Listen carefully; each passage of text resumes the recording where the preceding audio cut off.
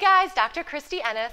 Today I am going to talk to you about how your ankle actually affects your knee and can cause pain into the knee.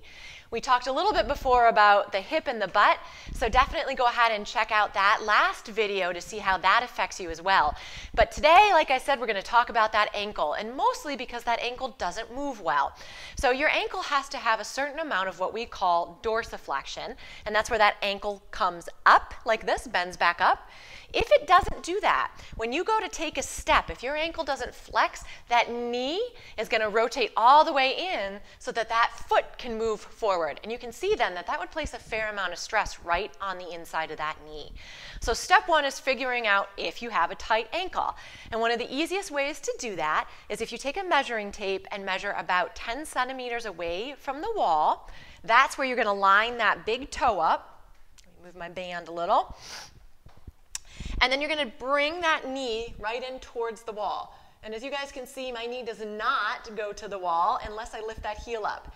I shattered my ankle as a kid and it is definitely tight. However, working on it does make a difference. So again, if that knee doesn't want to touch all the way to that wall, especially if you feel it in the front of that ankle, you've got some tightness in there. So now I want to show you the ways and how you actually work on loosening that. So number one is to work on some of that soft tissue that's restricting that motion. So I'm going to come right down on the ground and grab my derma edge, bend that foot up, and you can either cross it or even just pull it, and you're going to start to get in to that tissue, in through the calf, right in through the Achilles. For a couple minutes, and you don't have to push hard, so all around there, and you can even get into the ankle itself, and that's actually going to start to let that foot come up even more. So you want to start to do it in this little stretch position. That helps to loosen and lengthen things even more. So once you do this, you've got that fascia and that muscle lengthened a little bit, then you can go ahead and get into that joint a little bit more. And to do that, you'll use an assisted pull-up band which is what I have connected right here. So it's going to go in two positions. First is around the front of the ankle.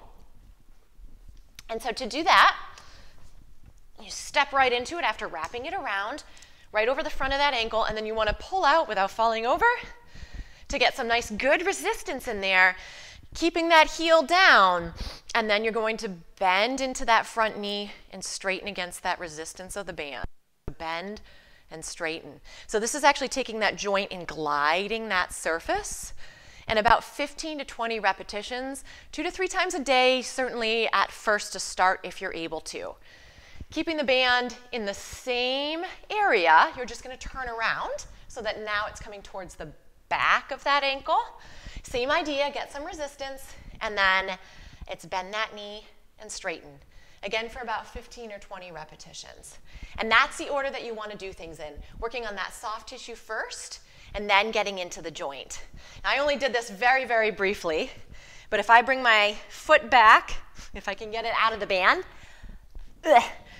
and bring my toe back to that 10 centimeters, and then bend it in, I actually am already a little bit closer. My heel will come off if I go a little bit further, but that is, that was only a minute or two, and already it's able to make a difference. So if you spend three to five minutes doing this during the day, you'll really see a change in that motion of the ankle. So thanks for tuning in today. If you found this helpful, please click that thumbs up button and share it with any family or friends that might benefit from this. Thanks, guys.